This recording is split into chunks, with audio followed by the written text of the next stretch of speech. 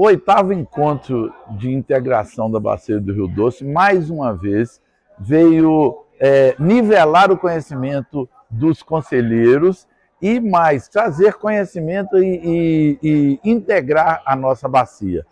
Ontem, na, durante a palestra de comunicação, eu tive a oportunidade de participar e trazer a experiência da Expedição Piracicaba como instrumento de comunicação efetiva que leva o comitê até a sociedade.